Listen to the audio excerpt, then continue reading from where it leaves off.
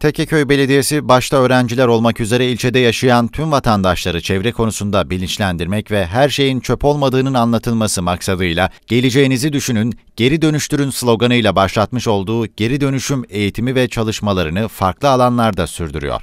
Konuyla ilgili açıklama yapan Tekkeköy Belediye Başkanı Hasan Togar, Tekkeköy'de geri dönüşüm çalışmalarımız her alanda sürüyor.